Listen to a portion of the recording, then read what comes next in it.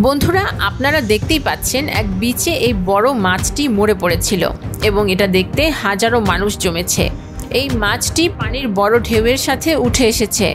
এটার ওজন প্রায় তেত্রিশ টনের মতো। এটা সরানোর জন্য প্রথমে মাছের নিচ থেকে মাটি সরানো হয়।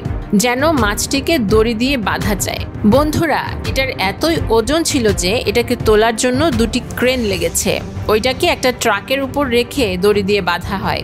তারপর ট্রাক চালক ওইটাকে নিয়ে চলে যায়। আর এই মানুষ মাছের উপর বসে অনেক মজা করে জাম্প করছে।